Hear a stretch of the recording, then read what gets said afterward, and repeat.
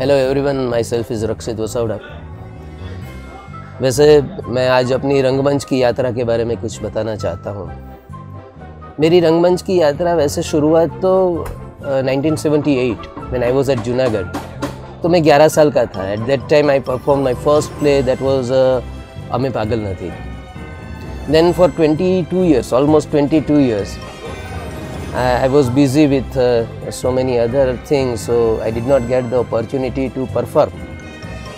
तो 2000 की साल में फिर से मुझे एक मौका मिला और 2000 से लेकर टिल डेट आज की तारीख तक I am working with theatre it is my great privilege that I got so many opportunities and I got I got to and I performed a number of roles. मैंने सुरदास जी का भी role play किया तो jail के कैदी 420 का भी role play किया।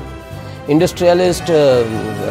बड़ा अपूर्व मेहता जैसा कोई इंडस्ट्रियलिस्ट का रोल प्ले करने का मौका मिला। कभी नर्मद बना, कभी गांधी जी बना।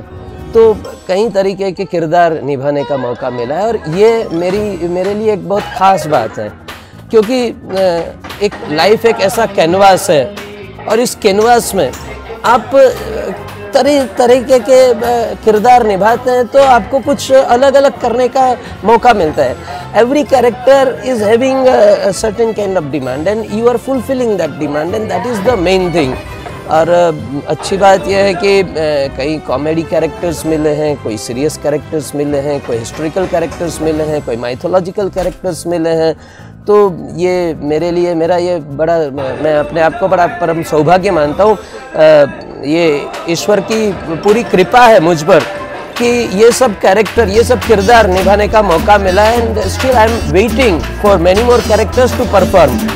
और अगर आ, मुझे ये पूछा जाए कि कोई एक कैरेक्टर जो कि मैं अपने दिल से और एक बार करना चाहता हूँ जैसे गांधी जी का कैरेक्टर कर लिया है तो ये बहुत अच्छा लगता है मुझे। पर फिर भी जो कोई एक डिसेबल्ड पर्सन है, जो एक ख़ास तरीके का, जैसे पा में अमिताभ बच्चन जी ने किया था, या तो माई नेम इज़ खान में शाहरुख जी ने किया था, ऐसा कोई एक कैरेक्टर मैं डेफिनेटली निभाना चाहता हूँ, और मुझे उम्मीद है कि ऊपर वाला ईश्वर की ये बात मेरी सुनेगा, और बहुत लोगों का मुझे प्यार मिला है और मैं चाहता हूँ कि ऐसा ही प्यार मिलता है सबका। और जो लोग इस क्षेत्र से जुड़े हुए हैं, बस अपने किरदार में आप